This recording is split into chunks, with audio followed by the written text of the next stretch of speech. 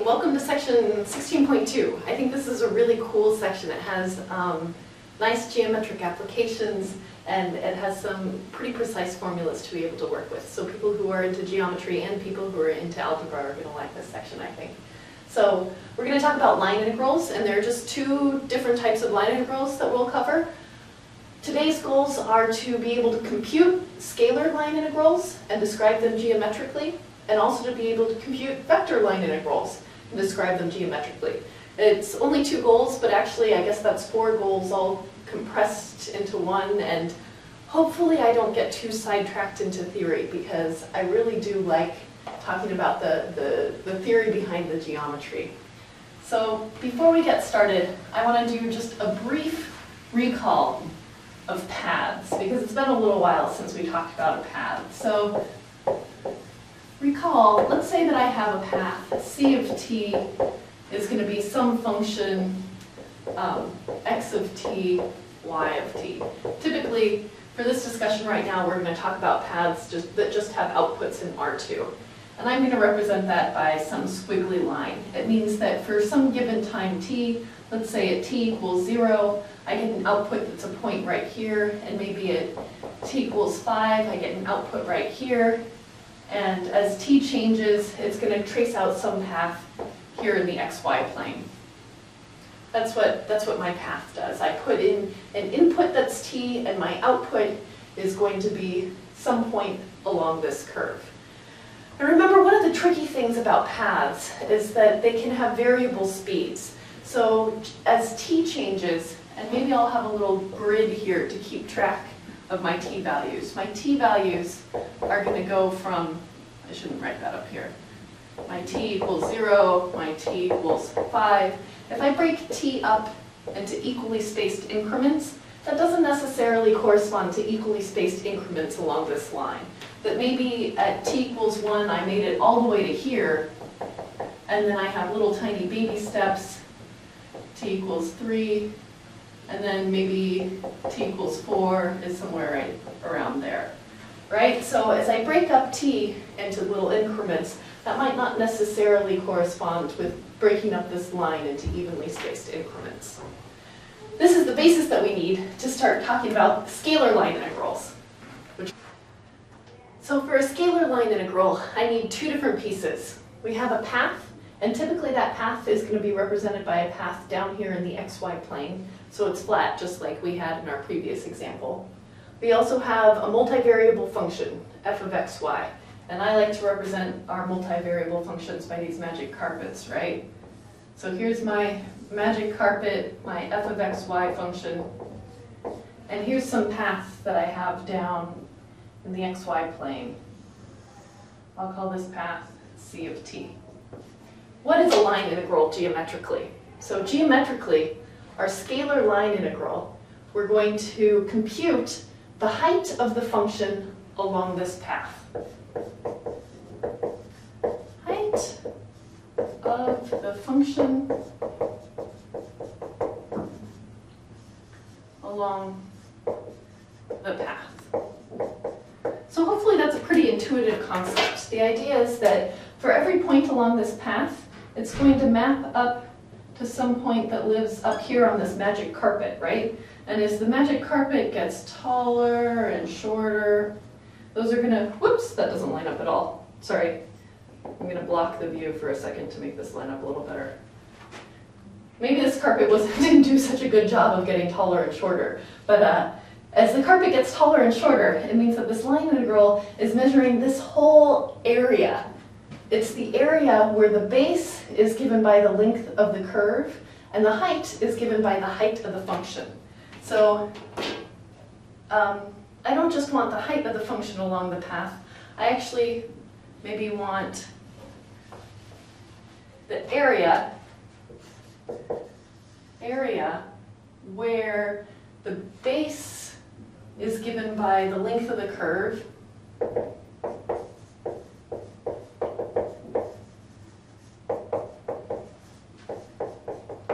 the length of c of t, and the height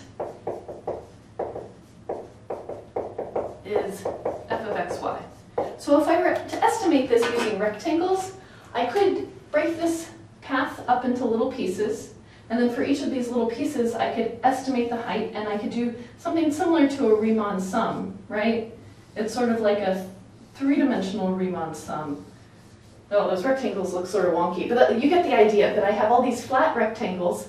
It's not a volume, it's just the area of this sheet, with the base of the sheet curving along the path and the height of the sheet being the height of the function. That's all of the, the hard theory that I want us to get to. But the, the, the hard part is, how do I convert this idea into a computational integral, something that I can compute, right? And it turns out that we have this nice formula. And I'll just skip to the formula, and then I'll explain where this formula is coming from. So our formula, typically our notation for our path notation, our book uses something that's, well, I don't know. We say the path integral along my path C of my function f of xy ds, because it's given in terms of the length of c of t, and we usually use s to denote length. This is going to be the integral of f of c of t. So I'm going to take my function and I'm going to plug in the points along this path. f of c of t really is this blue curve here. It's giving me the height.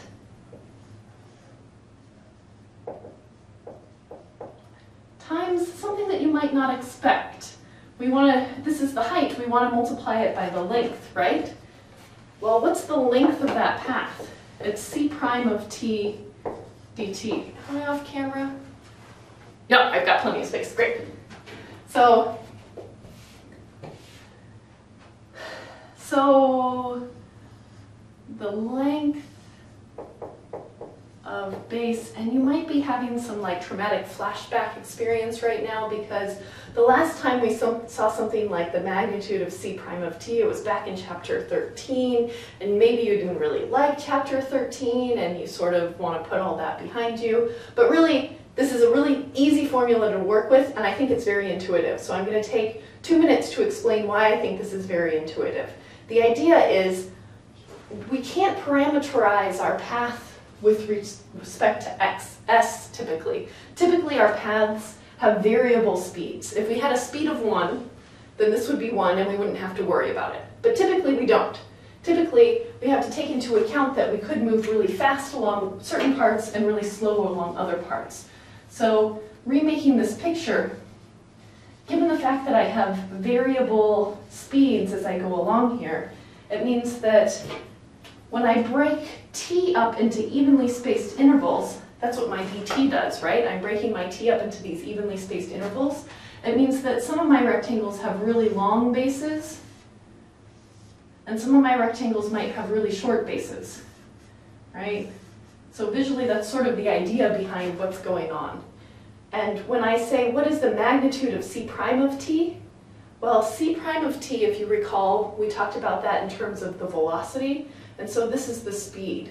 And I'm saying that I'm taking into account the fact that I'm traveling further for certain rectangular bases than I am for other rectangular bases. That's sort of an intuitive concept behind it. Another thing to recall, and I'll write this down, recall the length of my path c of t is given by the integral as t goes from a to b of the magnitude of c prime of t dt. If there's one formula that you remember from chapter 13, this is one that I want you to think of. That the length of c of t is going to be the speed, that's what this is representing, the speed, and then you're adding up that speed along all of these different times. And if you know how fast you're going and you know how long you're going, then this should give you a distance. And we call this the arc length, the, the length that you've traveled. And notice where those pieces are exactly in this formula, that when I, for my line integral, I want to measure the length of the path and the heights along that path. That's exactly what this integration is doing. For each incremental value of t, the length of the base is given by this. That's what my arc length is. And then I'm adding up all of those arc lengths multiplying by the height at each place. So that's all the theory that I want to talk about. And this is the, the function you'll write down in your notes. But I do want you to be able to tell me, what does this chunk represent? It represents the height. And what does this other chunk represent? It comes from the fact that the distance, the length of my path c of t is given by this distance function, this arc length function. So let's put this into action, and we're going to do an example. Let's say that I have my magic carpet function. The height is given by 10 minus 2x minus 5y. And my path in this case is given by c of t equals t comma 2 minus t. And my t values are going from 0 to 2. The first thing that I want to do is get an idea of what's going on with my uh, path.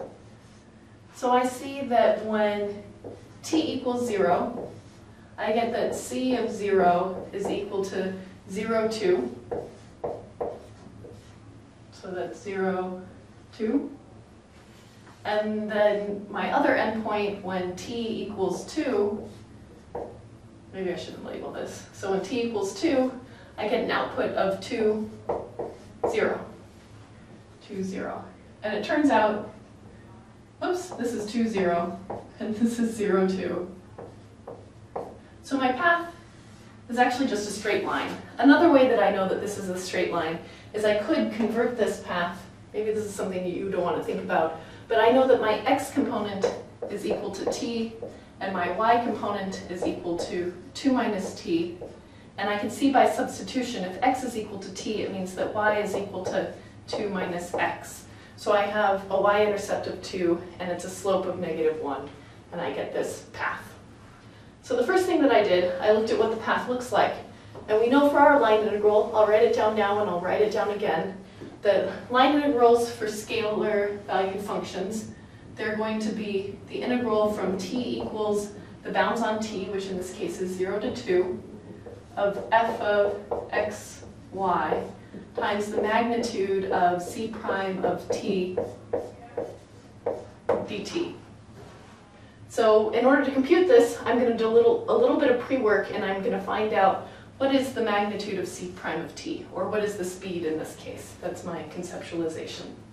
So c prime of t is given by the derivative of t, which is 1, and the derivative of 2 minus t is just negative 1.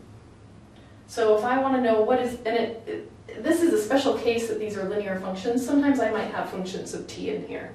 Um, that's okay though, and we'll see other examples of that later. What is the magnitude of c prime of t? It's going to be each of these terms squared, so I have 1 squared plus negative 1 squared, all square rooted, which is equal to the square root of 2. And notice that we have a constant speed in this case. It's a simple example. That means that as I travel along this line, my delta t's are going to correspond with some delta s's. That, that as I elapse one unit of time, that change in time is going to correspond with equal units of change in distance.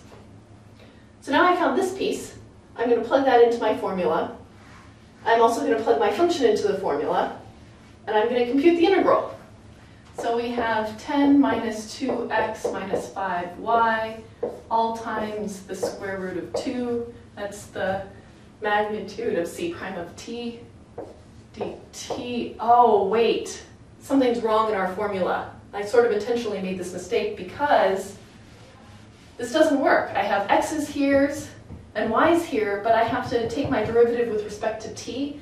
It's because before I can plug in f of xy, really what I want to plug into this function is f of c of t.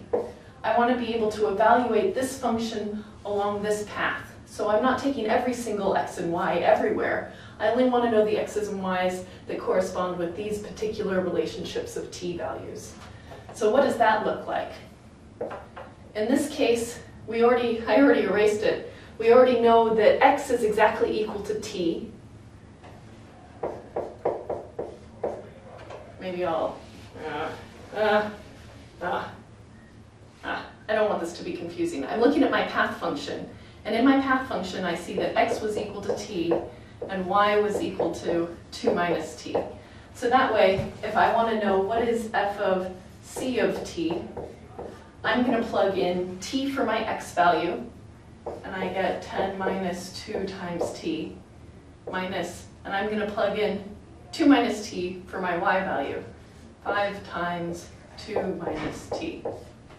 And now I can do a little bit of algebraic simplification. 10 minus 2t minus 10 plus 5t. I get the plus 10 and the minus 10 canceling one another, and I get just the function 3t. So it means that my final integral is going to be an integral from t equals 0 to 2, because those are the bounds on t, of my f of c of t function, which is just 3t, times the magnitude of c prime of t, which we already calculated to be the square root of 2, dt. These are just constants, and so when I integrate with respect to t, I end up with 1 half t squared times 3 times square root 2, all evaluated from t equals 0 to 2, and I can plug in those values, and I end up with 2 squared is 4, divided by 2 is 2. So I get 6 times the square root of 2. When I plug in 0, I get 0. And this is my solution. 6 times the square root of 2. Well, what does that actually mean geometrically? I'm going to go back and describe geometrically what's going on with the same picture that we saw before. So rather than writing our path in the xy plane, I'm now going to write it in three dimensions. So this is what my path looks like. And then on top of this, I have some function.